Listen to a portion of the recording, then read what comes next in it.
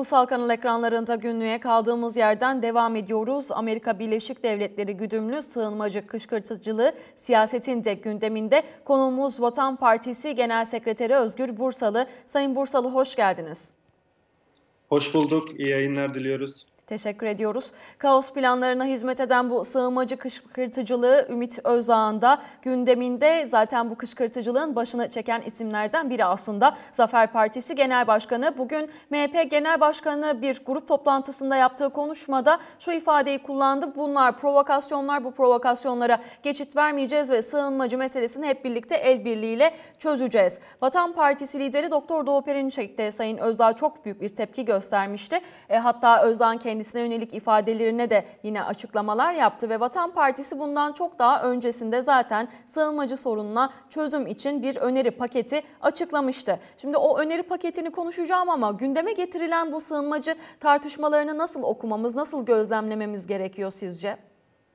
Evet. Şimdi çok açık e, Amerika Birleşik Devletleri merkezli bir kampanya yürütülüyor. Yani Sayın Devlet Bahçeli de bugünkü grup toplantısında buna işaret etti. Görevli pro- provokatör diyor. Yani hı hı. görevli kısmının e, altını çizmek lazım. Çok önemli. E, bu kampanyada görevliler var. Yani Amerika Türkiye'yi karıştırmak için, Türkiye'de halkı tahrik etmek için, kışkırtmak için, işte Suriyelilerle, Afganlarla, e, Türk milletinin arasına nifak sokmak için, bunun ötesinde işte sokakları harekete geçirmek için, nefret yaymak için ve sözüm ona bir de bunları e, Türk milletinin değerlerine e, dayanarak yapmak gibi bir e, kışkırtma planı var ve bu planın da görevlileri var. Yani e, bugün e, bu planın başında Ümit Özdağ var evet ama e, onlar gelip geçici. Yani CHP ve İyi Parti de bu planın hep içinde. Yani biz o bir, bir yıl önceki açıklamayı yaptığımız zaman e, o dönemde CHP ve İyi Parti bu mülteci kışkırtmasını, e, sığınmacı kışkırtmasını e, körüklemişti. Yani bu burada isimlerden çok e, Amerikan emperyalizminin e, planları doğrultusunda olayı değerlendirmek lazım. Ha şimdi onun bayrağını e, Ümit Özdağ sallıyor. Ama onlar bugün var, yarın yok. Ve yarın o gezdikleri sokaklarda da e, gezemeyecekler çünkü utanacaklar. E, Genel Başkanımız onu çok açık ifade etti. E, çünkü açıkça e, Amerika'nın Türkiye'yi karıştırmak, kaos, kargaşa yaratma planlarının içinde e, rol aldıklarını itiraf etmiş oldular ve bu kampanyalarla kendi kimliklerini e, ortaya e, koymuş oluyorlar. Bu tertiplerde yoksa insan niye rol alır? Yani mesele e, Suriyeli sorununu çözmek değil ya da sığınmacı problemini çözmek değil. Tam tersine bu yaptıklarıyla e, sorunu gölgeliyor, e, çözümü gölgeliyorlar. Yani sorunun kaynağına inmiyorlar.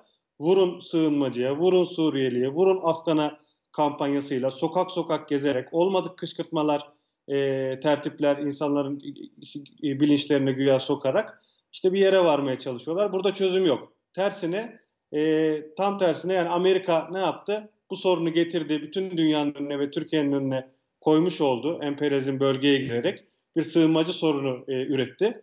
Yine Amerika o ürettiği sığınmacı sorunu üzerinden e, çeşitli ülkelerin içinde iç kargaşalık yaratmaya çalışıyor. İşte onun da sahipleri bugün Ümit Özdağlar. Bu kışkırtmaları da yalanlarla yapıyorlar Sayın Bursalı. Aydınlık Gazetesi bugün manşetinde e, bu haberi taşıdı aslında. Oldukça da önemli bir haberde. Özellikle Suriyeliler üzerinden yürütülmek istenen bir e, propaganda var ve bu propagandanın sözcülüğünü yine sizin de ifade ettiğiniz partiler maalesef e, vatandaşların da aslında yumuşak karnına dokunacak şekilde yapıyorlar. Ancak piyasaya sürülen yalanlar söz konusu. Bu yalanlarla ilgili ne söylersiniz? Yani yalanlardan öte yani mesela dün e, önceki gün galiba Ümit Özdağ'ın kendi e, YouTube kanalından yayınladığı hı hı. Zeytinburnu'nda geziyor sokak sokak işte cadde cadde dükkan dükkan bir genç kıza uğruyor ve genç kıza ilk sorusu merhaba demeden sen tacize uğradın mı diye soruyor bir genç kıza.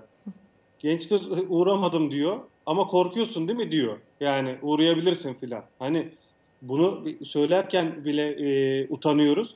Ya bu hangi ahlakta var, hangi terbiyede var, hangi kültürde var? Bir insana, bir genç kıza böyle soru sorulur mu? İşte dört dörtlük provokasyon bu. Dört dörtlük kışkırtma bu. Ve Özdan, Ümit Özdan da kimliğini koyan bir eylem bu. Hı hı. Yani bu bunları e, açıkça Türk milletine ifade etmemiz lazım. E, mesela bunlar e, Yalnız Kurt dizisi var ATV'de. E, o da çok güzel anlatıyor. Yani bu mülteci kışkırtmalarına ilişkin Amerikan parmağını, o Osman Sınav'ın e, dizisi tebrik ediyoruz. İçişleri Bakanlığımız e, açıkladı İsmail Çataklı Sayın Bakan Yardımcısı PKK tarafından açılan sahte hesapları. Yani Ümit Özdağ'ın bu sokak sokak gezmeleri, e, bu PKK'nın işe e, müdahale etmesi. Bakın e, şu an Ümit Özdağ PKK ile beraber aynı e, sahnede rol alıyor. Bundan daha açık e, bir şey var mı ortada tanım var mı? HDP, PKK da aynı kışkırtmayı yapıyor. Ümit Özdağ da aynı kışkırtmayı yapıyor. Ve bizim de e, hakikaten e, yani bu yalanları siz de ifade ettiniz. Bu yabancı düşmanlığı, ırkçılık vesaire yani bunlar Türk halkında olmayan şeyler. Halkta bunun karşılığı da yok. Yani böyle bir takım kışkırtmalarla belli başlı cevaplar alıyorlar sokak sokak gezerken ama esas itibariyle halkta bunun karşılığı yok. Çünkü biz de geziyoruz, biz de sokaklardayız, biz de insanlarımızın içindeyiz. Sanayicilerimizle buluşuyoruz.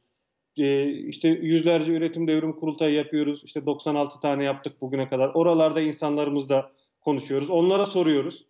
Onlar Suriyelileri çalıştırıyor, Afganları çalıştırıyor yanlarında işçi olarak, çoban olarak, başka diyelim emek gücü olarak. Hepsi memnun. Hepsi ahlaklarından memnun, çalışkanlıklarından memnun. Düşmanlık yok. Ki zaten bu nefret tohumlarını ekemezler Türk milleti. Türk milleti büyük bir millet. Yani biz koskoca imparatorluklar geleneğinin içinden gelen bin yıllık büyük bir kültüre, geleneğe, bir arada yaşama, barış içinde bir arada yaşama geleneğine sahip bir e, milletiz. O yüzden bu e, bir takım provokatörlerin ortaya attığı yalanlar, dolanlar, sorular falan bunlar hiçbir şekilde e, tutmayacak e, provokasyonlar olarak geçecek. Yani yarın bu isim, konuştuğumuz isimlerin hiçbirini Türkiye hatırlamayacak. Hı hı. Ve bunlar da zaten olayı e, bir çözüme götüremiyor. Tam tersine çözümü e, engelleyen tavırlar. Siz aslında cevabı vermiş oldunuz ama Türkiye'de bu sığınmacı meselesi üzerinden bir kamplaşma yaratmaları mümkün mü diye soracaktım ben. Çünkü e, bazen e, medya eliyle de bu tarz haberler maalesef yayınlanıyor. Gerek sosyal medyada da gündeme gelen bazı görüntüler oluyor. İşte dükkanlarına saldırılan vatandaşlar veya sığınmacılar oluyor. Burada çalışmaya ve hayatını geçindirmeye çalışan insanlara yönelik karalama kampanyaları yürütülüyor. Bir kamplaşma yaratması mümkün mü Amerika Birleşik Devletleri'nin bu planlar üzerinden? Mümkün değil. Yani Amerika Birleşik Devletleri bunu e, yani diyelim etnik mezhepsel bölünme planlarıyla denedi. Yani 30 yıldır bu topraklarda bu kamplaşma, ayrıştırma, etnik mezhepsel boğazlaşma planları e, Türkiye'yi bölmek, parçalamak ve bölgede o planlarını gerçekleştirmek için uygulanıyor ama tutmadı. Tutmaz da. Yani Türk'ü Kürt'e düşman edemediler, Alevi'yi Sünni'ye düşman edemediler, edemezler de. Hani az önce saydığım sebeplerden dolayı burası e, başka bir ülkeye benzemez. Yani dünyanın e, en köklü, en e, gelişmiş geleneklerine sahip, e, kültürüne, felsefesine ta- sahip topraklar bunlar ve onlar da bizim kardeşlerimiz. Yani sorunun kaynağını e, su, e, sokakta, ta- tarlada, sanayide çalışan e, o insanlarda aramak kadar vahim bir şey yok. Zaten onlar bilerek bunu yapıyorlar. Sorunun kaynağı Amerikan emperyalizmi. Yani sığınmacı sorununun kaynağı e, ABD ve batılı güçlerin emperyalist politikaları. Bunlar ne yaptılar? Suriye'ye girdiler, Irak'a girdiler, Afganistan'a girdiler. İşte Batı Asya'daki planları için buralara silahla girdiler ve yürüttükleri parçalama operasyonları, etnik mezhepsel bölünme operasyonları işte bu göç dalgalarına e, yol açtı ve bu, bugün onu yaşıyoruz. Yani yoksa işte gidiyorlar soruyorlar işte e, e, kiranız pahalı mı? Evet pahalı. İşte bu Suriyeliler yüzünden. Yani bu kadar böyle akıl dışı, mantık dışı, izan dışı, e, ciddi olmayan tavırlarla insanları kandırabileceklerini sanıyorlar. Bunu başaramazlar. Başarma şansları da yok ve e, bunların önünü keseceğiz. Yani az önce de ifade ettik. Bunlar böyle sokağa çıkamayacak hale gelecek. Çünkü utanacaklar Türk milletinden. Ve şimdi korkmaya başladıklarını da görüyoruz. Onu da ifade edeyim. E, onlardaki tavır değişikliğinin farkındayız. Bu iyi bir şey, hayırlı bir şey. Biraz kendilerine gelsinler. Şimdi yaptıkları açıklamalar, işte e, örgütlerine yolladıkları genelgeler filan e, böyle bu iş pabuçlar pabucun pahalı olduğunu gördüler. Yani onlara Türk milleti izin vermez. Vatan Partisi izin vermez. Ve onların bütün o planlarını getirir milletin önünde e, anlatır e, ve doğru çözümü ortaya koyar. O yüzden bunlar gelip geçici. Türk Amerika'nın Türkiye'de kaos kışkırtma planlarına karşı bir kere en önde Vatan Partisi var. Türk milleti de o planlara e, kesinlikle e, katılmayacaktır. Hı hı. Sayın Özgür Bursalı, Cumhurbaşkanı Erdoğan dün büyükelçilerle verdiği iftar yemeğinde sığınmacı sorununa değindi ve biz bu sorunu çözeceğiz ifadelerini kullandı. Yine bugün MHP Genel Başkanı Devlet Bahçeli de biz bu sorunu el birliğiyle çözeceğiz ifadelerini kullandı ama bu konuyla ilgili bir yol haritası var mı hükümetin? Açıkçası pek gözükmüyor. Ee, siz bu konuda ne söylemek istersiniz? Bu sorunun çözümü için atılacak adımlar neler? Bu konuda yol haritası olan, programı olan, çözümü olan, önerisi olan tek parti var Türkiye'de. O da Vatan Partisi. E, çünkü biz çok somut anlatıyoruz ve söylüyoruz. Şimdi bir kez daha söyleyelim. Sığınmacı sorunu nasıl çözülür?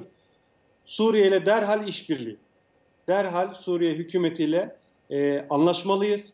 Suriye hükümetiyle anlaşmak demek PKK'yı ve diğer tüm örgütleri, tüm terör örgütlerini Suriye'den temizlemek demek.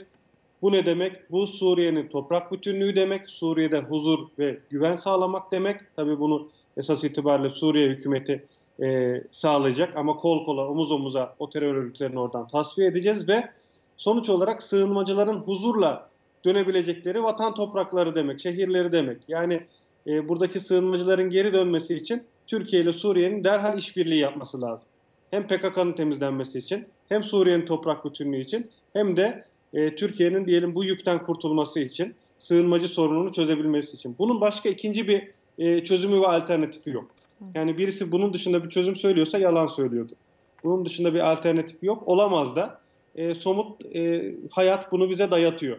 Kaldı ki Suriye Devlet Başkanı Sayın e, Beşar Esad da e, sürekli genel af çıkartıyor. Yani sanırım 3-4 e, ayrı genel af çıkarttı. Eve dön çağrısı yapıyor. Vatanına dön çağrısı yapıyor. Yani e, orada buna uygun koşullar var. Ayrıca e, Irak'a işte dün e, kahraman ordumuz e, Pençe Kilit operasyonu başlattı. Çok başarılı bir şekilde devam ediyor. Yani PKK'yı abluka altına alan ve kilidi kıracak olan o Pençe Kilit e, operasyondaki kilit ifadesine dikkat çekmek istiyoruz ve altını çiziyoruz. Kilidi kıracak olan ve işi en sonunda Suriye'nin kuzeyindeki o terör devletine de e, getirecek olan bir harekatın başlangıcı. Yani koşullar o kadar oluştu ki e, hem Türkiye'nin e, sınır güvenliği bakımından hem Amerika'nın ve terör örgütlerinin bölgeden def edilmesi bakımından işte buna yüklenirsek, e, bu planı, bu çözümü ortaya koyarsak ve Suriye ile anlaşırsak sığınmacı sorununu kökten çözmüş oluruz. En az yüzde sekseni diyelim e, buradaki misafirlerimizin evine geri döner.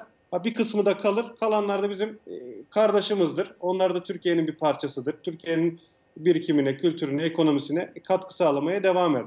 Türkiye'nin Suriye ile bir adım atmaması için bir sebep var mı geldiğimiz bu koşullarda? Yani Türkiye'nin e, adım atmaması için tabii hiçbir sebep yok ama ona, onun için bir karar lazım, bir program lazım, bir ufuk ve cesaret lazım. Hı hı. Yani tabii bunu yıllardır söylüyoruz çünkü Türkiye'nin Suriye ile anlaşması sadece sığınmacı sorunu kapsamında değerlendirilemez. O dünya dengelerini değiştirecek bir olay e, olur.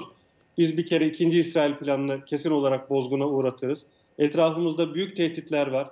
Yani Karadeniz'den Yunanistan'a, Girit'e, işte Suriye'nin kuzeyinde, Irak'a kadar Amerikan namluları Türkiye'ye dönmüş. Bunları e, ortadan kaldıracak koşullar doğar.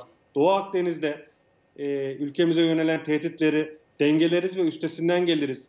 Suriye ile e, anlaşırız, Mavi Vatan'daki konumumuzu sağlamlaştırırız, deniz yetki alanlarımızı berraklaştırırız. Kıbrıs'ın tanınması için önemli bir adım atmış oluruz. Yani e, hem iç cepheyi kuvvetlendiririz hem de dışarıda Türkiye'nin vatan bütünlüğünü sağlayacak sıkı dostluklar inşa ederiz ve sorunu çözeriz. Suriye ile anlaşmak e, bu bakımlardan çok önemli. Tabii bu sırada sığınmacı sorununu da çözmüş oluruz. Yani o buradaki e, diyelim misafirlerimiz için de çok önemli. Bu sadece bizim tarafımızdan e, bunu bu kadar bencil değerlendirmemek lazım. O insanlar da evlerinden, yurtlarından oldu. Emperyalizm yüzünden buralara geldiler. E, sorunlar çekiyorlar filan. Onlar da güvenle evlerine, dükkanlarına, topraklarına e, dönmüş olurlar. Ve eskisi gibi Türkiye-Suriye kardeş olur. Batı Asya'da güçlü bir işbirliği olur. Ve bu işbirliği içinde ticaretimizi canlandırırız, kültürümüzü canlandırırız. Ortak tehditte karşı konumlarımızı sağlamlaştırırız. Sayın Bursalı Vatan Partisi lideri Doktor Doğu Perinçek'in çok konuşulan bir açıklamasıyla devam etmek istiyorum. Ben dün bir basın açıklaması yaptınız ve bu basın açıklamasında Fransa'daki genel seçimlerde Le Pen'i desteklediğinizi duyurdunuz. Bu aslında kamuoyunda çok büyük bir yankı da uyandırdı diyebiliriz. Le Pen'in açıklamaları ve vaatleri e, aslında Avrasyacılık rotasında önemli e, izlerdi ve Atlantik kampından Fransa'nın ayrılması açısından da e, bütün bölgeye huzur getirecek vaatlerde bulunuyor Sayın Le Pen. Fakat Vatan Partisi lideri Doktor Doğu Perinçek'in bu açıklaması e, çeşitli medya organlarında e, ilginç karşılandı. O yazılardan biri de Ahmet Hakan'ın yazısıydı bugün. Le Pen'i aşırı sağcı ve faşist olarak nitelendirip Doğu Perinçek'in neden Le Pen'i desteklediğini anlayamadıklarını aslında özetle ifade eden bir yazıydı o ve bunun gibi birkaç yorum daha oldu. Bu yorumlarla ilgili neler söyleyeceksiniz? Ee, çok iyi hatırlattınız. 24 Nisan Pazar günü e, Fransa'da çok önemli bir seçim olacak. Bizim seçimimiz diyoruz. Yani Fransa'daki seçim sadece Fransa'nın değil, Türkiye'nin seçimi, e, Müslümanların seçimi, Afrika'nın seçimi, insanlığın seçimi, Avrasya'nın seçimi. Çünkü orada Atlantik sistemiyle cephe cepheye çarpışan bir löpen var. İşte programını açıkladı. NATO'dan e, askeri kanadından çıkacağını ilan etti. Filistin'i tanıyacağını ilan etti. Kırım'ın Rusya toprağı olduğunu tanıyacağını ilan etti. Suriye ile anlaşacağını ilan etti. Şimdi işte yeni bilgiler gelmeye devam ediyor. Senegal'i e, Birleşmiş Milletler e, Güvenlik Konseyi'nin daimi üyeliğini önereceğini söyledi. Bunlar dünya dengelerini değiştirecek e, olaylar. Yani Le Pen'in kazanması sıradan bir seçim galibiyeti olmayacak. İnsanlık adına ve Türkiye adına ve bizim menfaatlerimiz açısından çok önemli değişikliklere yol açacak bir sürecin başlangıcı olacak. Ve zaten telaş bundan. Telaş bundan. Yani Ahmet Hakanlar meseleye Türkiye'den baksa, Türkiye'nin güvenliği açısından baksa, Türkiye'nin geleceği açısından baksa, Doğu Akdeniz'deki tehditler açısından baksa bunları yapmazlar. Onlar maalesef biraz e, artık Türkiye'de rafine e, batıcı e, konumundalar. E, her olaya Amerikan kodlarıyla yani zihinler artık Amerikancılıkla işgal olmuş. Amerikan kodlarıyla yaklaşıyorlar. İşte e, Akit gibi o e, gazeteleri de görüyoruz. Yani işte başörtüsü düşmanlığına falan bağladılar işi. Yani Amerikancılıkları cap canlı gerçekten. Yani Macron'un gelmesini bak... tercih edeceğini yazmış zaten Ahmet tabii. Hakan da yazısında. E, tabii çünkü Macron çok e, şey e, İslam e, dostu. Yani Macron'u tanıyoruz. E, o peşine takıldıkları Atlantik sisteminin Fransa'daki şefi Macron'u çok iyi tanıyoruz.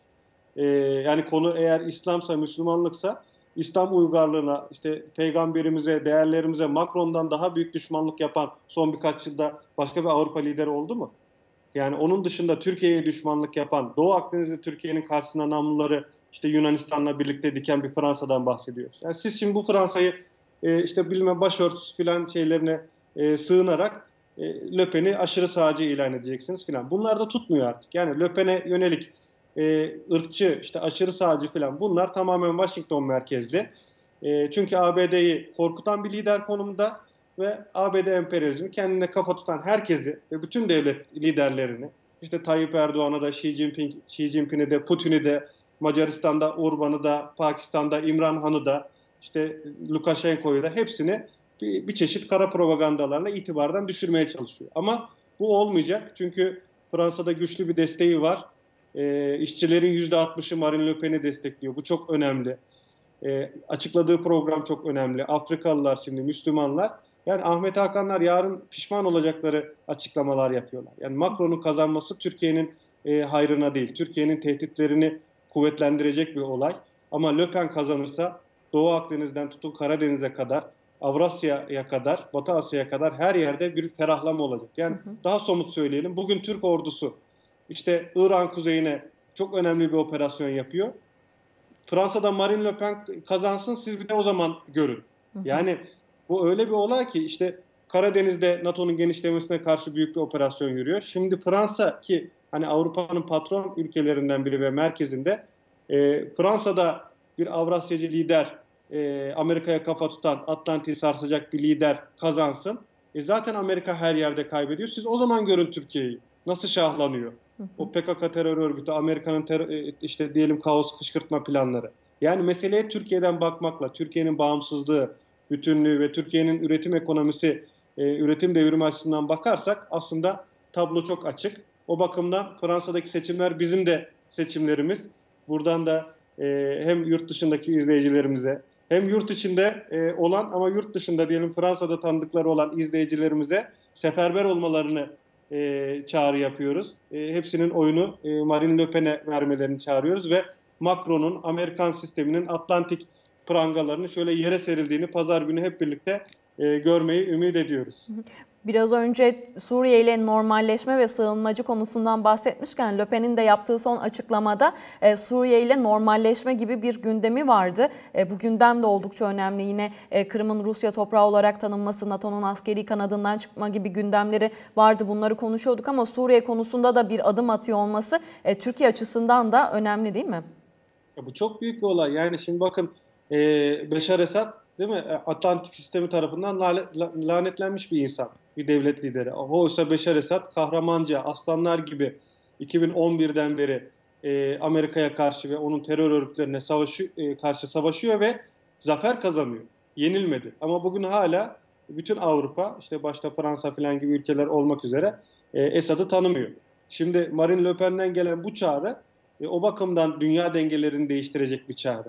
Suriye ile normalleşmenin ötesinde Esad'la işbirliği yani Suriye hükümetiyle Suriye'yi yöneten hükümetle işbirliği diyelim. Şimdi bakın tablo öyle bir değişir ki şu an Doğu Akdeniz'e bakın e, Fransa, Yunanistan, Güney Kıbrıs, e, İsrail, Amerika bunların gemileri yan yana bayrak sallıyorlar. İşte o gemilerden biri oradan kalkacak ama yalnızca bir tanesi kalkmayacak. Yani bir ittifak çatırdayacak. Yani Doğu Akdeniz'de Türkiye'ye karşı oluşturdukları işte o kuvvet dengeleri yarılacak. Şimdi sadece onu söylemiyor. Avrupa Birliği içerisinde de ciddi yarılmalar. Yani işte Fransız-Alman ortaklığını sorgulayacağız diyor. Schengen'den ayrılacağız diyor. Avrupa Birliği içerisindeki e, önemli tedbirlerimizi alacağız ve ulusal mesela ulusal yasaları diyor. E, Avrupa Birliği yasalarından daha önde tutacağız. Anayasaya bununla ilgili maddeler ekleyeceğiz diyor. Şimdi bunlar dünya sistemini, e, emperyalist sistemi e, çatlatan ve yıkan e, programlar. O bakımdan hem Suriye Devlet Başkanı ile hem işte Putin'le zaten Fransa'nın Putin'i diyorlar e, Sayın Marine Le Pen'e de e, hem Türkiye ile ilişkileri bakımından e, çok önemli bir süreç başlayacak. Zaten bir Asya çağı yükseliyor. İşte Avrasya dediğimiz e, olay da bu. Yani sonuç itibariyle Avrupa kampının da e, Atlantik'ten e, kopması, zincirlerini kırması anlamına gelecek bir süreç. Hep bunun böyle olacağını söylüyorduk. E, işte şimdi Fransa'da bunun en canlı e, tablosuyla karşı karşıyayız. Bu pazar e, umuyoruz Marine Le Pen Fransa'nın e, aynı zamanda değerlerini ayağa kaldıracak olan liderdir. Yani Fransa halkı e, ABD hegemonyacılığına e, baş kaldırıyor ama onun çok köklü bir devrimci tarihi var. O tarihi de ayağa kaldırarak yeni uygarlığa, yükselen Avrasya uygarlığına tarihi bir katkıda bulunacaktır diye e, umut ediyoruz ve e, onun için seferber haldeyiz. Fransa örgütümüzde, yurt dışındaki yöneticilerimiz de e, dün açıklamalar yaptılar. Biz de Vatan Partisi olarak e, bu işin başındayız ve pazar gününe kadar oturmayacağız. Bu e, dünyanın geleceği bakımından ve Türkiye'miz açısından Marine Le Pen'in kazanması için seferber olacağız. Sayın Bursalı çok teşekkür ederiz yayınımıza katıldığınız için. Tekrar görüşmek Hiç... üzere. Kolaylıklar diliyoruz size. Çok sağ olun. Vatan Partisi Genel Sekreteri Özgür Bursalı bizlerle birlikteydi. Hem sığınmacı sorununu konuşmuş olduk. Sığınmacı sorununun Türkiye'de nasıl bir kışkırtma haline getirildiğini Amerika Birleşik Devletleri tarafından konuşmuş olduk ve bunun çözümü için Suriye'yi işaret etti Özgür Bursalı. Suriye ile normalleşme adımlarının bir an önce atılması gerektiğini söyledi. Vatan Partisi'nin bu konuyla ilgili hazırladığı